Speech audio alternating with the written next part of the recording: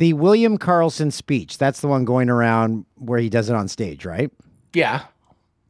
And everyone's saying, what an epic speech. Can I just point out that it's a horrible speech? It is, it goes nowhere. It is Yeah. not epic. It's not entertaining. And it doesn't end. What is epic about it? It was epic because he was wasted. Who? Yeah, I'm sorry, but no, nothing about that screamed epic. Not a single point did I say this is awesome.